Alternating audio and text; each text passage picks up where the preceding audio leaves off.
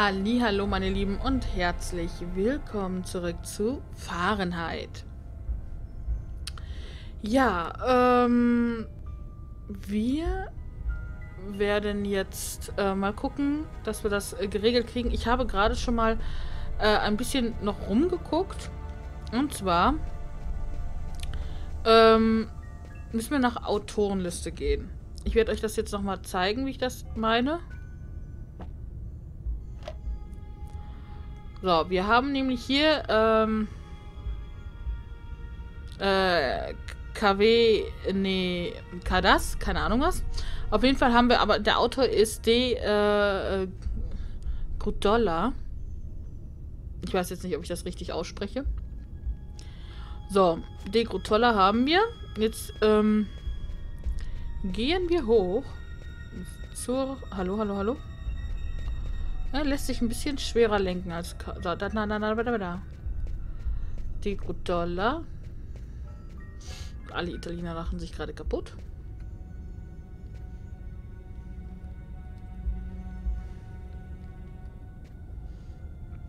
So, die Gutolla ist 1776.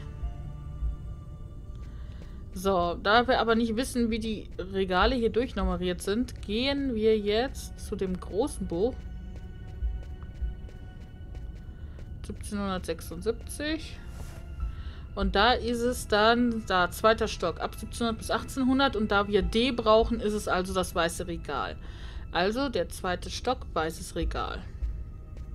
Und, ähm, ja, ich bin gerade ein bisschen überrascht, dass es auch den zweiten Stock gibt.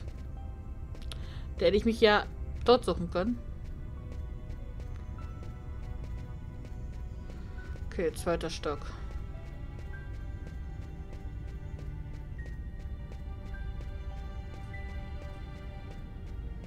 Ja, Beweis.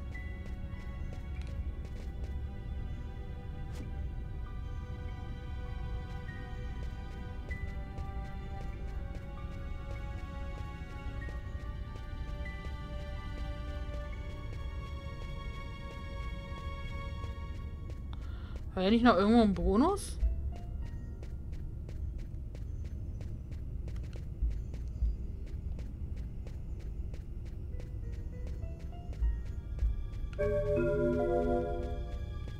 Den nehmen wir natürlich mit.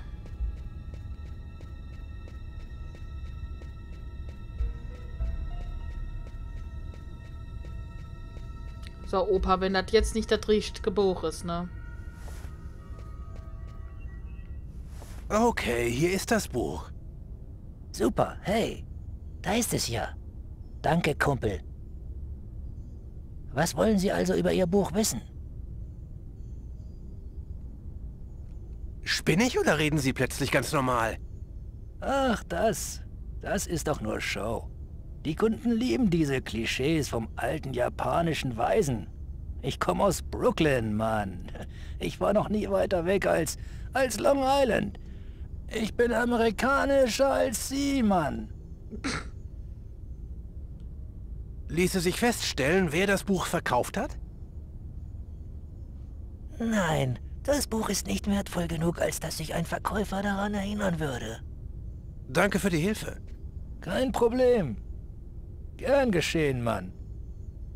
Das war's?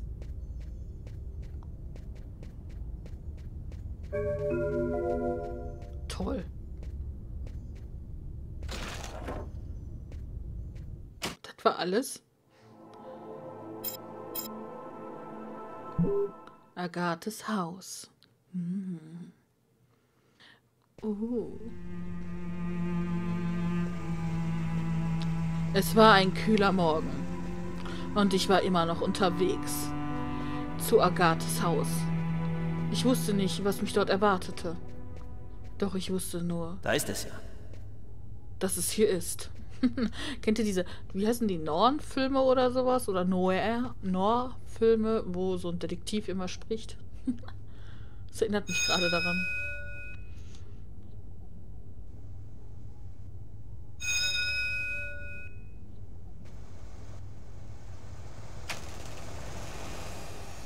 Ach joa.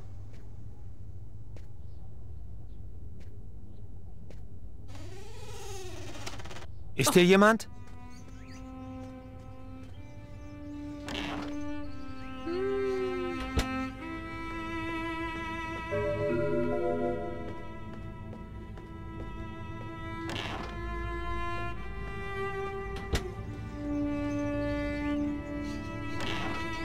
Oh je. Sind das da in den Käfigen etwa Krähen? Ja. Hab schon freundlichere Haustiere gesehen.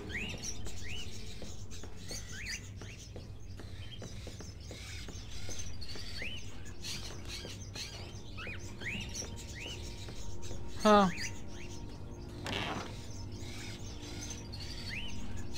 An sich sind sie ja freundlich, ne? Keiner zu Hause?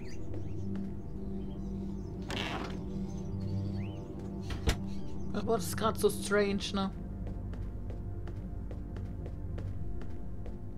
Kerzenständer, ein altes Zauberbuch. Hm, wie unheimlich.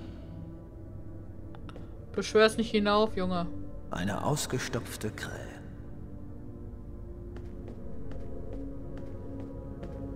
Uh, eine ausgestopfte Eule.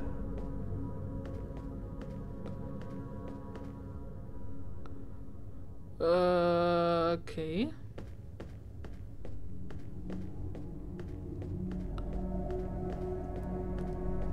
Wieso macht denn hier keiner die Tür auf, Kehr? Huch. Sind, sind Sie Agatha? Warum möchten Sie mit Agatha sprechen?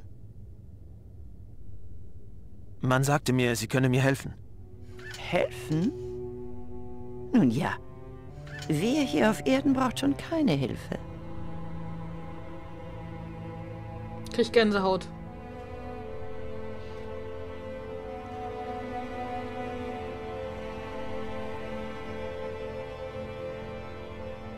Man kann auch ohne Augen sehen. Und nun, junger Mann, schieben Sie mich bitte rüber. In Gesellschaft der Vögel kann man sich besser unterhalten. Aber natürlich. Junge Dame.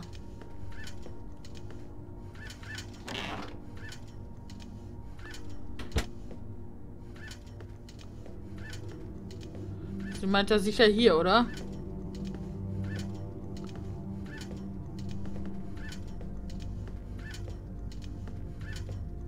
Nein, ist nicht hier?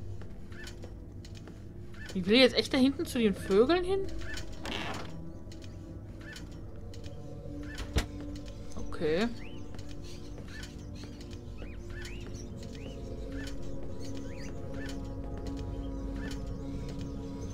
Ach mein Gott. Ich, kann.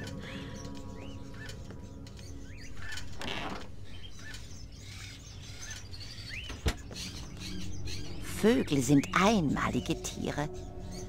Sie können ihr ganzes Leben in einem Käfig verbringen und trotzdem noch fröhlich singen. Was führt Sie her, junger Mann? Sagen Sie, wie sieht Ihr Käfig aus? Ich habe jemand umgebracht. Es war, als wäre ich besessen. Ich sah, wie ich es tat, ohne mein Handeln kontrollieren zu können. Klingt eher wie eine einfältige Ausrede. Glauben Sie nicht, Sie sind in Wahrheit einfach nur verrückt geworden? Seit jenem Abend fühle ich mich so verloren. Ich hoffte, Sie könnten mir eine Antwort geben. Aber wie sollten Sie schon wissen können, was mir widerfahren ist? Im Schrank liegt ein Säckchen mit Samen. Seien Sie so nett. Füttern Sie bitte meine kleinen Lieblinge. Ja auch noch der Vogelfütterer vom Dienst, oder was?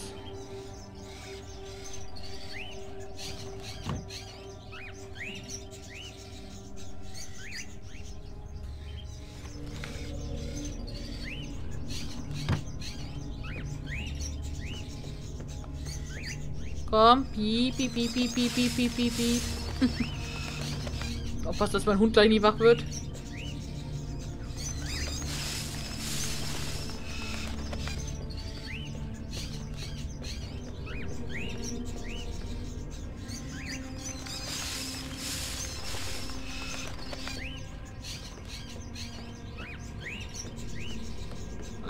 Drinne.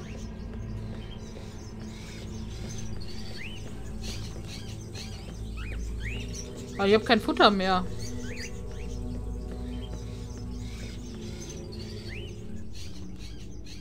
Haben Sie eine Vermutung, was den Kontrollverlust ausgelöst haben könnte? Vielleicht ein Getränk? Ein besonderer Ton oder ein Bild? Irgendwas Ungewöhnliches? Nicht, dass ich wüsste. Ehrlich gesagt erinnere ich mich ab dem Betreten des Restaurants bis zu dem Moment, wo ich wieder zu mir kam, an nichts. Sind Ihnen seitdem vielleicht noch andere seltsame Dinge passiert? Sonderbare Träume oder Visionen? Ja, ich sehe Dinge, als nähme die Wirklichkeit vor meinen Augen schreckliche Formen an. Können Sie Ihre Visionen mit irgendwas Konkretem in Verbindung bringen? Zum Beispiel einem Symbol oder Zeichen, einem Wort? Als ich wieder Herr meiner Sinne war, nach der Tat, sah ich dieses Symbol in meine Arme geritzt. Eine Schlange. Zwei offene Münder. Oh mein Gott. Was heißt das? Es gibt nur einen Weg, dies zu deuten. Schnell, schieben Sie mich ins Wohnzimmer. Omi.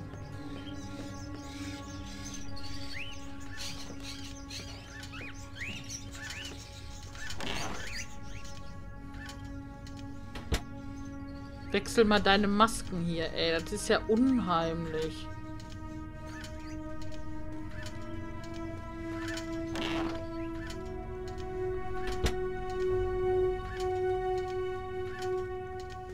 Einem der Schränke finden Sie Kerzen. Stecken Sie sie in den Kerzenständer. In der Küche müssten Streichhölzer sein. Dann können Sie die Kerzen anzünden. Klar. Möchtest du, möchtest du denn sonst noch irgendetwas haben von mir?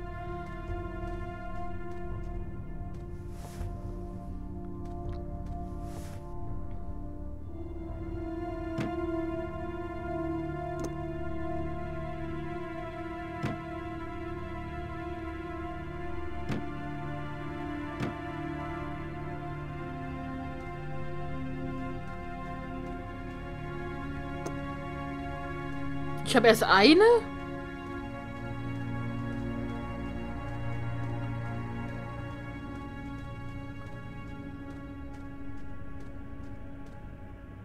Hast du da vielleicht noch was drin?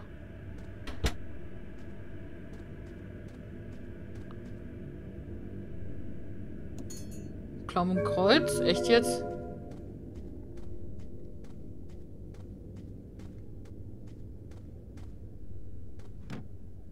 Ist abgeschlossen.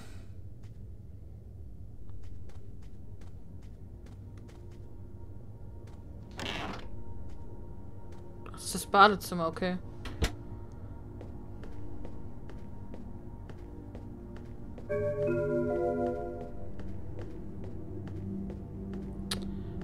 Wieso hat sie denn keinen Spiegel über dem Waschbecken?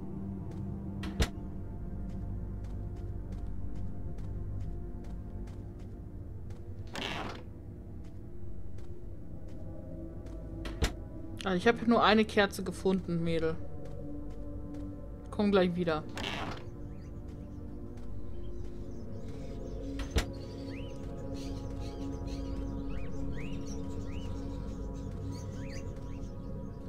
Ganz komischer Flur.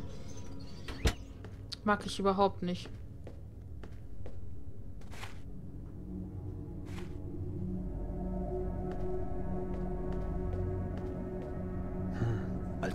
Auf einem Regal.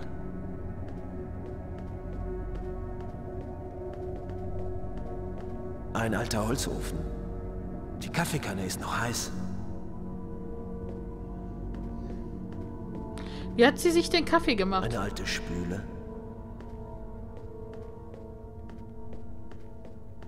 Nichts Besonderes. Das würde ich ja gerne mal wissen.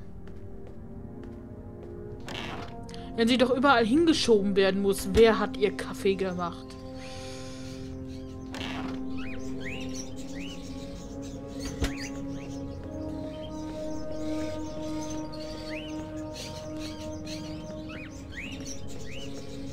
Hä?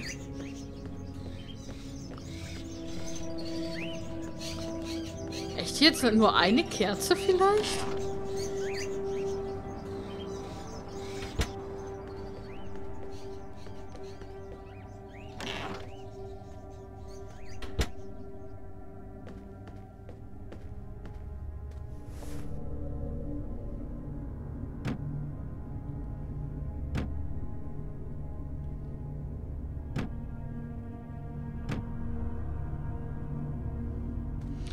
Oben hinkomme, weiß ich nie.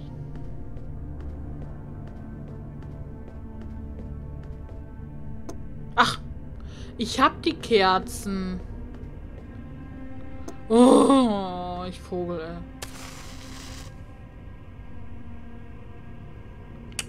Toll. Ich dachte, oh, ich, da, ich muss mich an jedes Ding einzeln hinstellen. Ich habe gedacht, wenn ich mich an ein Ding hinstelle, packt er alle drei gleichzeitig da rein. Uff.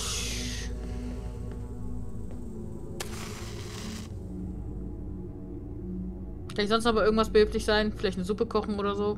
Perfekt. Löschen Sie nun das Licht. Vorhänge zu. Wir sind bereit. Setzen Sie sich zu mir.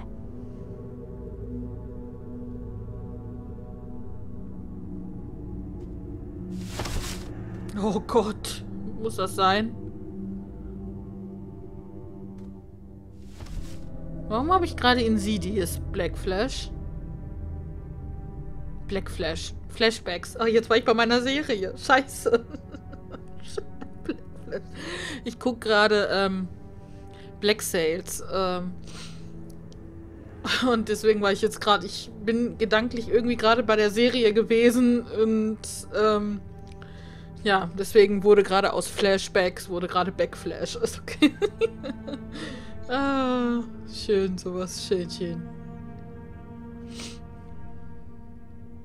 Entschuldigung, was sagten Sie, soll ich tun? Licht aus. Hm. Vorhänge zu. Nun setzen Sie sich zu mir. Und das Licht vergessen, Junge.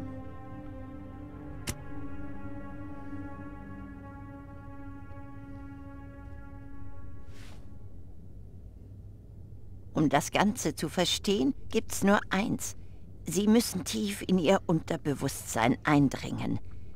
Wer immer es war, der sie dazu zwang, diesen Mord zu begehen, hat sich aus ihrem Gedächtnis gelöscht.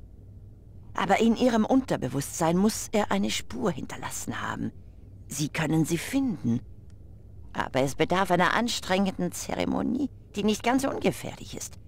Wollen Sie oder wollen Sie es nicht versuchen? Ich will es. Ihre Hände bitte.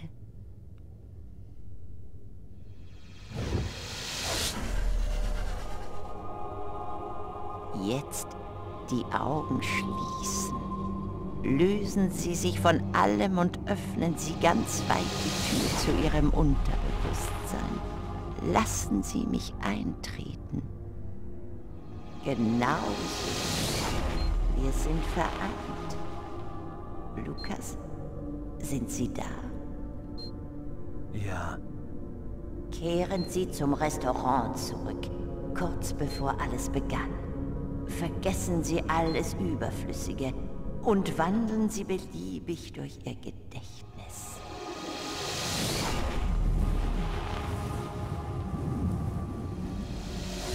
Wo sind Sie, Lukas? Ich stehe vor dem Restaurant. Dann betreten Sie jetzt das Restaurant.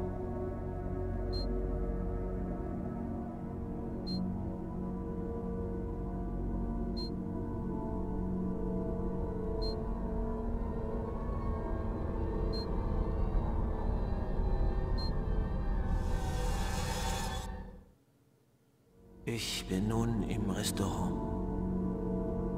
Was sehen Sie? Ich sehe Gäste und die Bedienung. Sehen Sie den Tisch, an dem Sie saßen? Ich suche ihn. Da ist ein Polizist. Er sitzt an der Bar. Scheiße. Konzentrieren Sie sich. Jetzt gehen Sie an Ihren Tischen.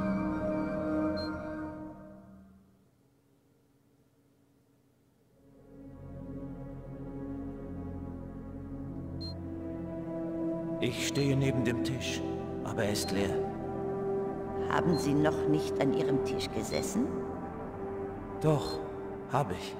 Denn mein Essen steht bereits da. Ich, ich glaube, zu der Zeit habe ich ihn umgebracht. Ich, Bewahren Sie die Ruhe, Lukas. Sagen Sie mir genau, wo Sie sich befinden. Im Toilettenraum. Der andere Mann auch. Was macht er? Er pinkelt. Er ist völlig ahnungslos. Und Sie, Lukas, wo sind Sie? Keine Ahnung. Ich sehe mich nicht. Da bin ich. ich. Ich war in einer Toilettenkabine. Oh mein Gott, ich habe ein Messer. Er sieht mich nicht. Immer ruhig bleiben, Lukas. Schön konzentrieren. Hä? Ich kann meine Beine nicht kontrollieren. Ich gehe von hinten auf den Mann zu. Er sieht mich nicht. Ich will nicht. Ich will nicht. Aber ich habe mich nicht in der Kontrolle.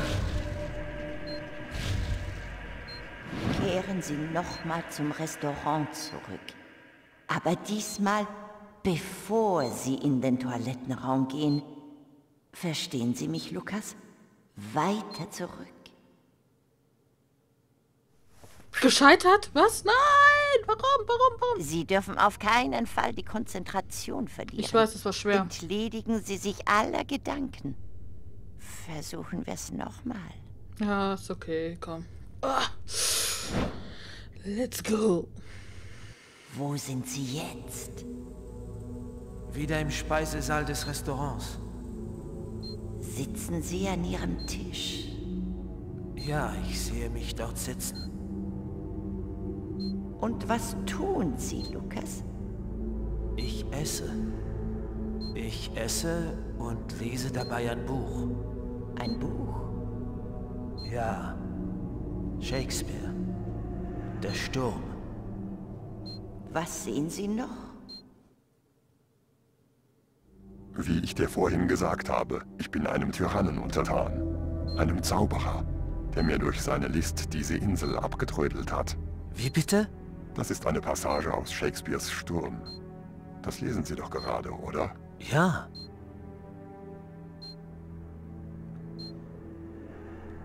Jemand kommt auf mich zu. Ein Mann. Wer ist es? Ein Gast? Ich weiß nicht. Ich glaube ja. Ich sehe sein Gesicht nicht. Und was sagt er zu Ihnen? Ich, ich, ich kann mich nicht erinnern. Konzentrieren Sie sich, Lukas. Sie müssen sich erinnern. Eins meiner Lieblingsbücher. Schade, dass heute kaum noch jemand Shakespeare liest. Ich. Dürfte ich mich kurz zu Ihnen setzen? ich Ah, ja, aber... Der Mann hat sich zu mir gesetzt und... Jetzt kommt die Bedienung. Sir, Kaffee bitte.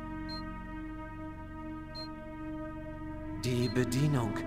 Sie scheint den Mann nicht zu sehen. Als wäre er unsichtbar. Es wurde schon viel über den Sturm geschrieben. Vor allem aber über das Thema der Magie. Und jetzt? Was geschieht jetzt, Lukas? Ich, ich weiß nicht. Der Mann strahlt eine seltsame Energie aus. Ich kann sie nicht beschreiben. Weiter, Lukas. Was geschieht danach? Glauben Sie an magische Kräfte? Nein, gar nicht. Hören Sie. Welch Irrtum. Dabei enthält unser Universum Ah. doch viel mehr als das, was mit bloßem Auge zu erkennen ist. Ihr Kaffee, Sir. Danke, Kate.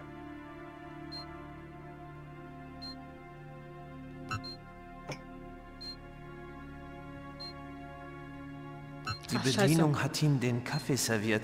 Aber sie wendet sich mir zu, als hätte ich ihn bestellt. Sie weiß nicht, dass er dort sitzt. Sie sieht ihn gar nicht. Und was passiert jetzt?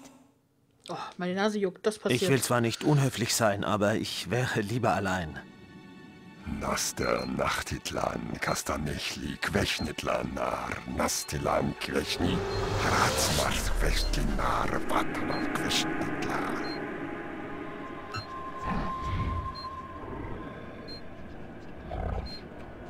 Ich bin gelähmt. Ich fühle meinen Körper nicht. und ich kann mich nicht bewegen. Der Mann, Lukas. Wo ist der Mann? Er ist aufgestanden und weggegangen. Er, er ist nun in meinem Kopf und kontrolliert mich. Folgen Sie dem Mann, Lukas, schnell. Ich befehle Ihnen, dem Mann dicht zu folgen.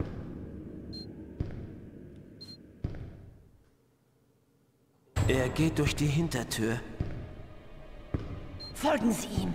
Ihre Seele ist mit der seinen verbunden. Sie sehen alles, was er sieht.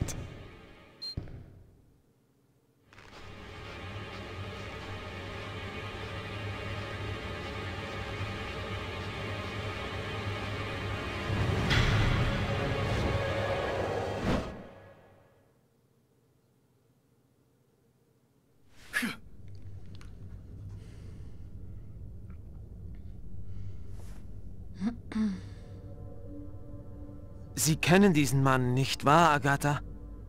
Nein, ich weiß nichts. Ich bin nicht sicher, wer er ist. Doch, Sie wissen, wer es ist. Als Sie die Narben an meinen Armen fühlten, wussten Sie sofort, was los ist. Was bedeuten diese Symbole, Agatha? Was hat der Mann mit mir getan?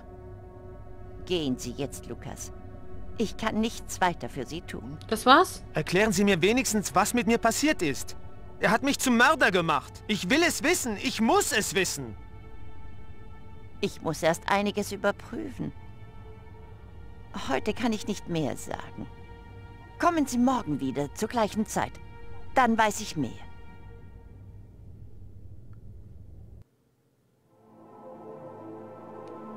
Toll. Das hat ja was gebracht.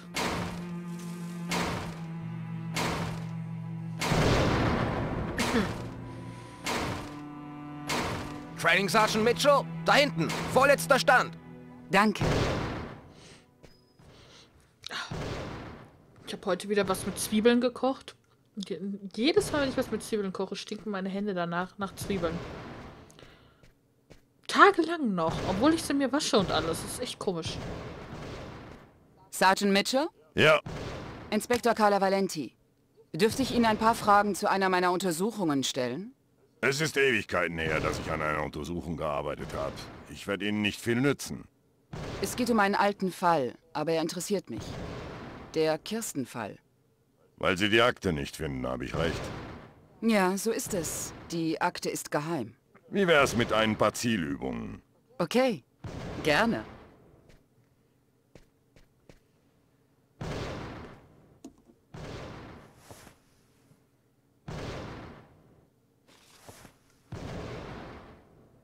Die Pistole liegt direkt vor Ihnen.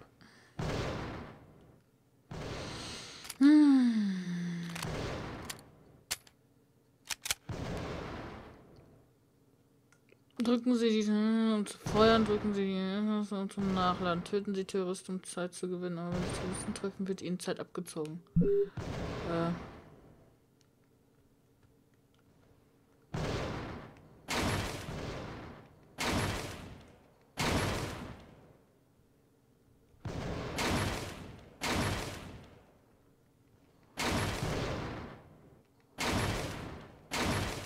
Wow.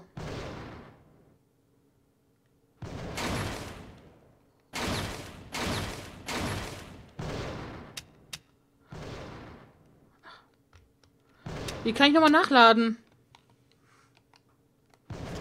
Ach so.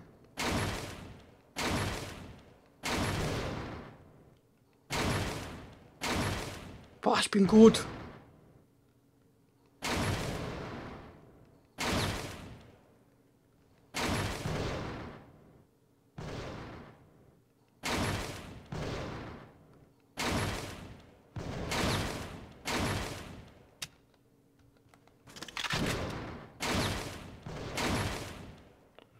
Wann ist jetzt Ende?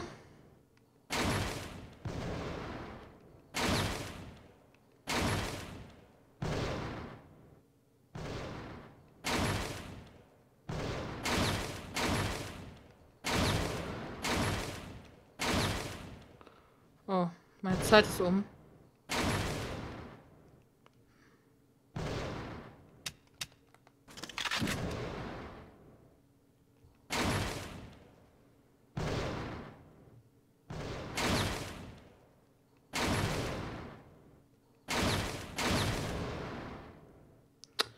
Mann. Sie haben's aber drauf. Ich muss zugeben, dass Ihnen hier nur wenige das Wasser reichen könnten. Und was möchten Sie über den Kirstenfall wissen? Zum Beispiel, was geschah genau? Ein Typ namens Kirsten ging ahnungslos in den Supermarkt und als er vor den Kochutensilien steht, schnappt sich einer ein Messer und ersticht ihn brutal. Blöd. Was wissen Sie übers Opfer? Ein Durchschnittsbürger war lediglich zur falschen Zeit am falschen Ort. Sonst noch irgendwelche interessanten Elemente? Stimmt, da war noch was. Der Mörder hatte sich anschließend mit dem Messer irgendwelche Symbole in die Vorderarme geritzt. Komisches Zeug. Sah aus wie eine äh, Schlange oder sowas. Vielleicht ist er nur ausgerastet. Eine Art kurzer Anfall von Wahnsinn. Nahm ich auch zuerst an, bis ich den Autopsiebericht sah. Jeder Messerstich durchtrennte sauber und präzise eine der zum Herz führenden Arterien. Solche Präzision, oh Mann. Die Chancen dafür standen mindestens 1 zu 1000. Selbst wenn er Chirurg wäre.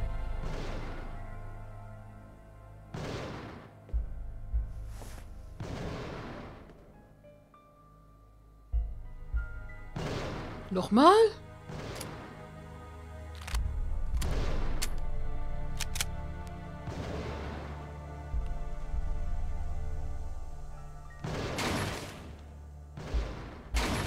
Warum soll ich ihn jetzt nochmal?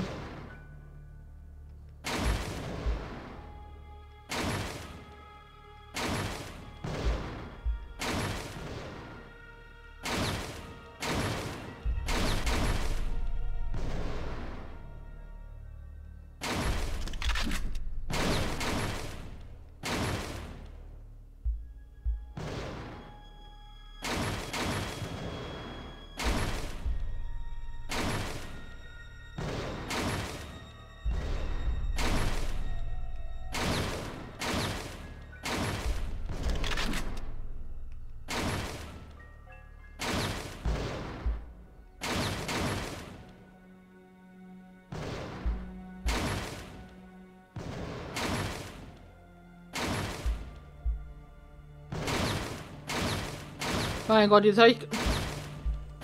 Gerade hatte ich noch einen Lauf. Jetzt habe ich... Jetzt sieht es ein bisschen schlimmer aus.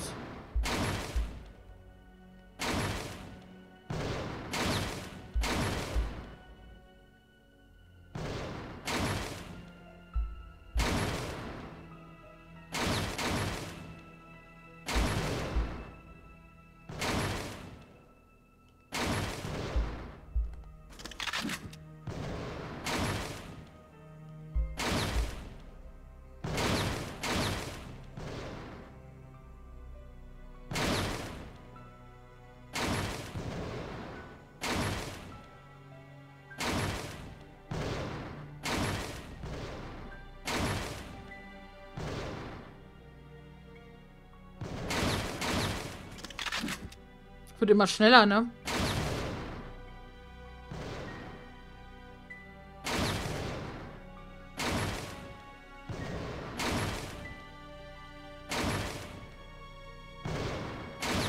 Da war ich ein bisschen langsam.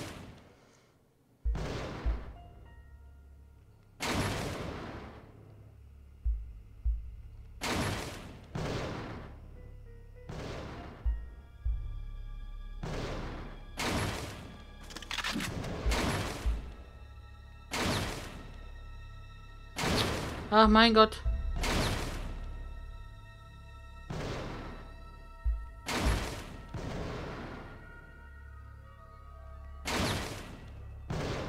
Exzellenter Schuss.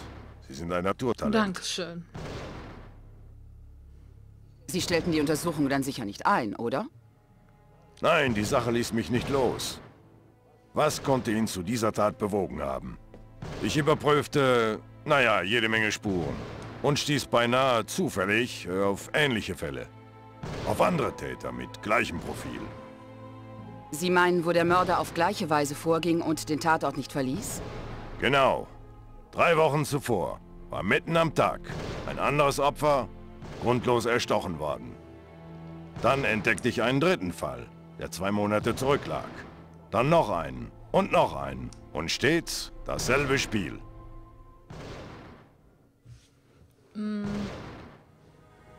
Und die Täter wurden stets verhaftet? Nein. Entweder begangen sie Selbstmord, bevor wir eintrafen, oder wurden verrückt. Aber alle gingen genau gleich vor. Sie durchtrennten dem Opfer stets die Herzarterien. Ganz akkurat. Dann ritzten sie sich eine Schlange in die Arme. Und Ihre Recherchen in dem Mordfall im Supermarkt? Fanden Sie was heraus? Diesen Fall sollten Sie lieber aufgeben. Hier geht es nicht nur um einen Mord. Aber hinter den Kulissen wird irgendein falsches Spiel gespielt. Dann lege ich wohl eine neue Akte an.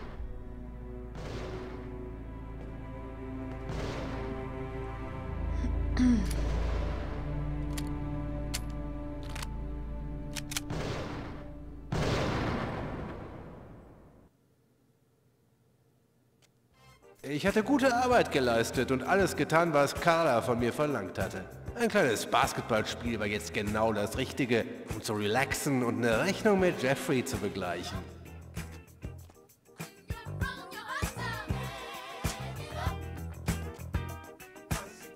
Wow, super Outfit, Jeffrey.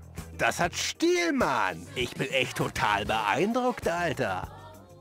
Okay, 200 Dollar Einsatz. Der, der zuerst 10 Punkte macht, gewinnt und kriegt's Moos. Sind wir uns einig? Dann sagt er in Kröten schon mal Ciao. Abwarten. Also dann. Aber ich muss Schluss machen und sage Tschüss bis zum nächsten Mal.